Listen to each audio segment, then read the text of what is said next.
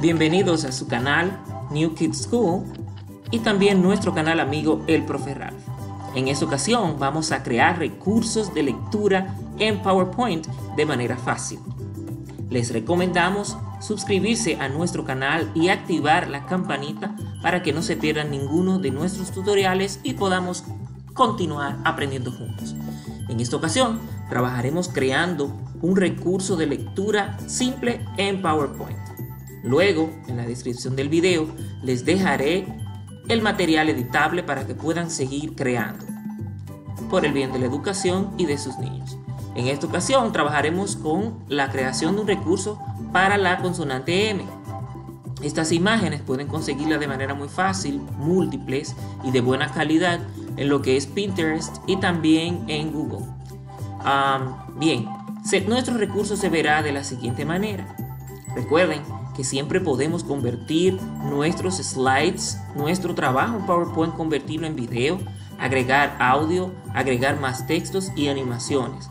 Por eso les dejamos aquí también en nuestro canal múltiples tutoriales para que puedan practicar y aprender todo esto.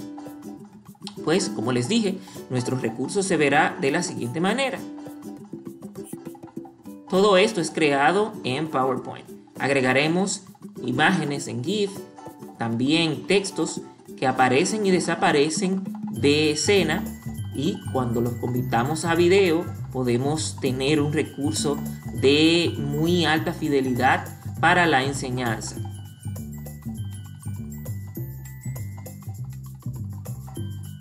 Bien, ya una vez que estemos aquí, pues vamos a trabajar con cómo hacerlo. Yo les voy a explicar de manera sencilla cómo vamos a modificar nuestros slides. Bien, y para hacerlo, simplemente vamos a hacer lo siguiente. Yo utilizaré, simple para explicarles cómo lo haríamos o cómo iríamos eh, modificando, utilizaré un slide nuevo. Bien, voy a copiar la animación de la niña que estaría con la esta que está acá. Voy a copiar esta de la, de la sílaba y le voy a cambiar. Vamos a decir que utilizaremos la combinación de la sílaba mi. Bien, voy a insertar un texto, el texto de arriba. Usualmente lo hago con Gorar o insertar texto, uh, cuadro de texto. Se fue, vamos de nuevo, insertar Gorart. Entonces aquí vamos a poner aprendemos, por ejemplo, aprendemos palabras, palabras con y ya abajo tendría la sílaba mi. Bien, ustedes saben que para modificar ese texto lo hacemos acá y podemos cambiar. Siempre recomiendo cambiar el tipo de letra.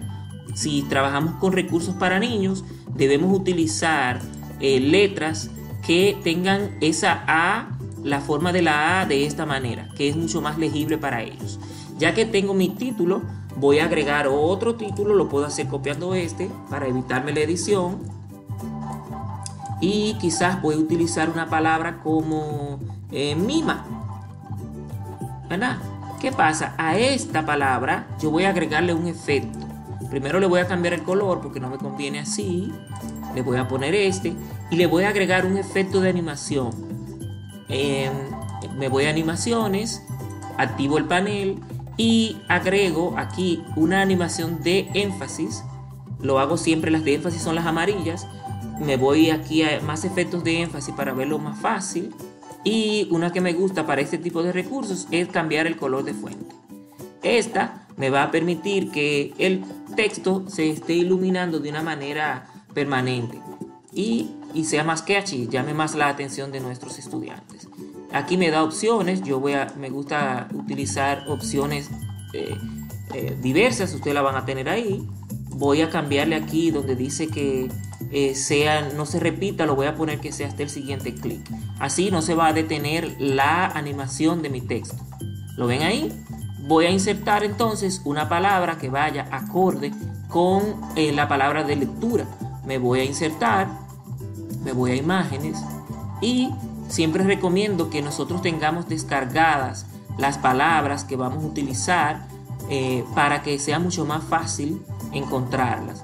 Como mi palabra es mima, yo debo buscar una imagen alusiva a la misma para que eh, mi recurso sea mucho más eh, visual y mis estudiantes puedan sacar el mayor provecho. Tengo acá esta imagen, la inserto, creo que es perfecta para la palabra, puedo agrandarla, puedo achicarla, puedo diferentes eh, formas. Bien, yo quiero que mi, mi imagen aparezca cuando aparezca la palabra. Y esa palabra aparecerá después de eh, el círculo que tiene eh, la sílaba, ¿verdad?